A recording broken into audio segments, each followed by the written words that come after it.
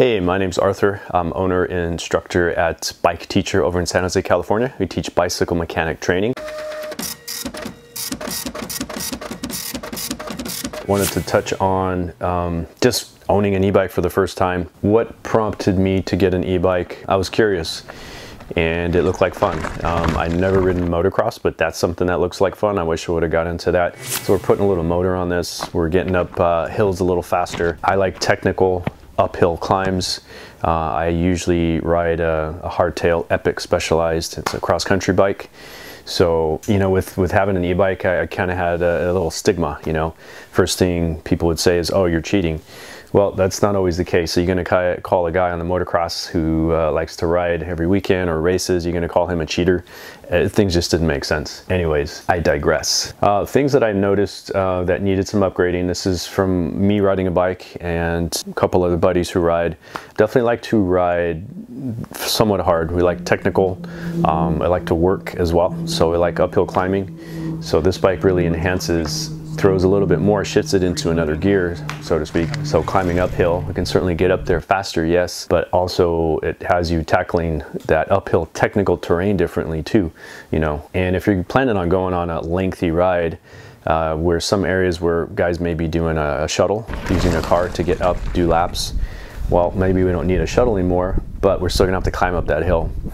And usually we're going uh, pedaling as quickly as possible but we're also trying to conserve the battery. So uh, last few rides I've gone on, um, which uh, kind of kicked my butt. It was 30, about 30 mile rides over in the Santa Cruz Mountains, and we're doing laps and we're covering more terrain, uh, but you're also having to deal with your downhill as well. So you're, it's physical. You're using a lot of upper body, a lot of body English. You know, you're trying to have fun. And the climbing we did was probably about 45 4,000 to 4,500. Definitely days uh, you need a couple water bottles. This one only has one holder for one water bottle. We don't carry backpacks. Uh, I just don't like this something on my back. So you got to come up with a different uh, solution start carrying a, a, hip pack or something where you can carry some food, an extra water bottle. Having days like that, uh, it was fun. It was fun. Um, it's almost like being at a bike park where you're taking the, the gondola up the, the, ski, the ski mountain. And towards the end of the day, uh, it wasn't quite the end of the day, these are probably about two to three hour rides. And uh, you start feeling fatigued, you start getting tired uh, until you start getting maybe more acclimated. So you got to know when to say no because that's when you get hurt, right? Let's do one more run. And that's when you crash. Body's fatigued. Do you have extra weight here coming off a 25 pound hardtail. This is a 50 pound bike, so extra 25 pounds.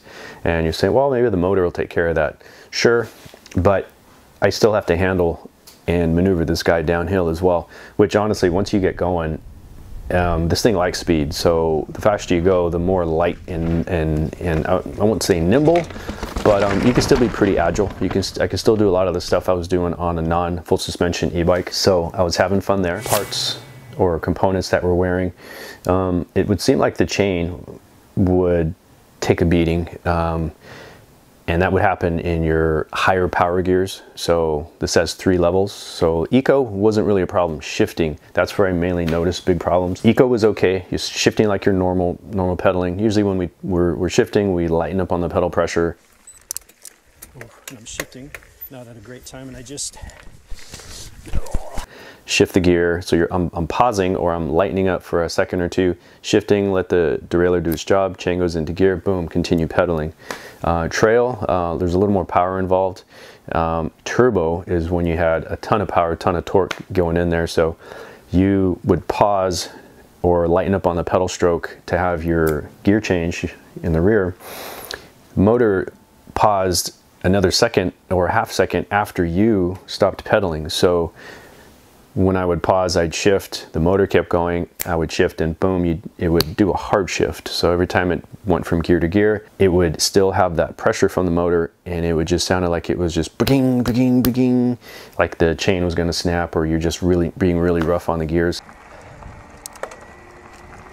Yeah, you can definitely hear those shifts happening when you're in turbo and I was going uphill under pressure. So I was very conscious of that. So if you're in that high power mode, then um, pausing maybe an extra two seconds, which doesn't sound like a lot, or maybe it is, shifting, let it drop in, and and then you continue. Of course, if you're if you're racing your buddies or you're in a race or you're just trying to be really efficient, yeah, pausing for two seconds for a gear gear change could be quite a lot. But um, and those are just little nuances, little personalities that you're feeling that this bike has and you're adjusting to. This goes for e-bike or non-e-bike.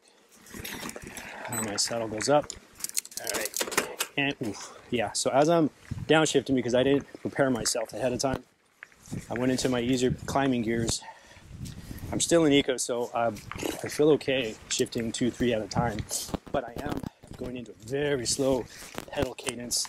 Uh, whether you think you're doing light pressure on the pedals, that may not matter because that motor is going to do what it wants. Going uphill for the first couple times, I was in turbo, and uh, it wasn't a terribly technical. It was actually pretty smooth, kind of flowy, but a couple ruts and roots here. Uh, still uphill, uphill, not too steep, but it wasn't a problem there. Where I did see a problem being in turbo going uphill was you got into rocky territory where you kind of had to negotiate, do a little more body English to get over rocks and roots and kind of rollovers. Usually what you would pause your pedaling so you wouldn't spin out your rear tire to roll the bike over. Those things, uh, that's where I saw the motor being super powerful and you would pause and then trying to roll over. Okay, now I'm rolling, I'm feeling that extra 25 pounds and hitting a bump or a, when you're going to pedal, maybe there's a, a big rock you got to kind of lift the front end so you are feeling that.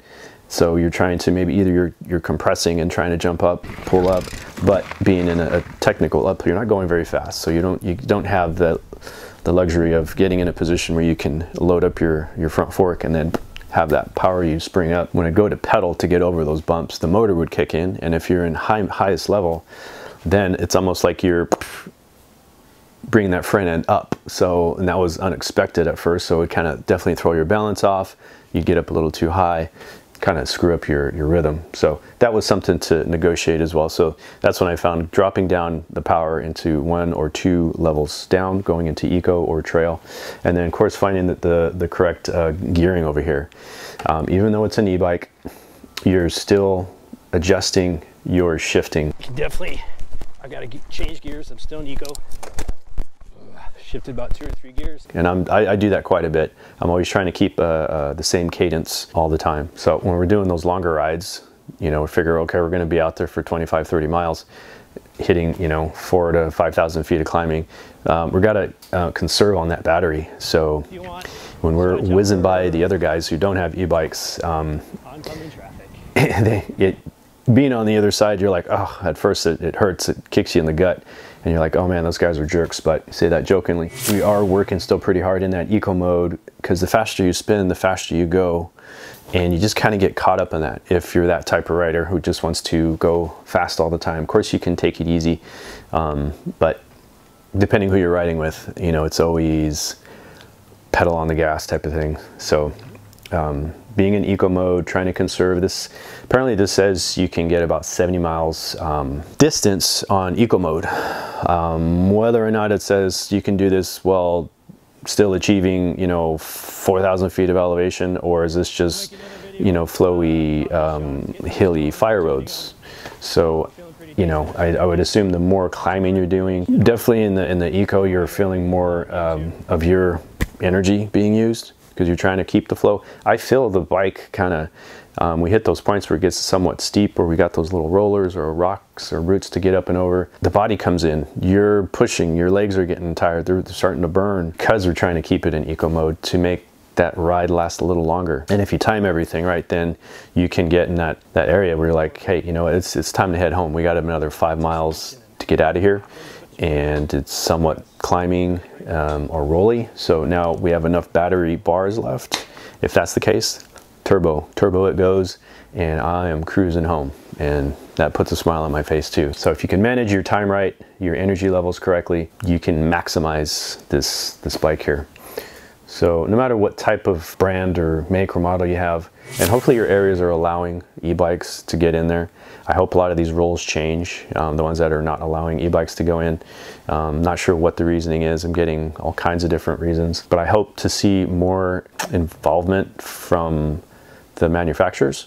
I'm not sure to what extent they're they're trying to help fight for keeping e-bikes on the trails or getting them into areas where they're not allowed because I don't think they're beating up the trail. A lot of it's just if they're worried about rider etiquette, then that's just a matter of time before we get everyone on the same page to, to be cool out there. Don't run people over.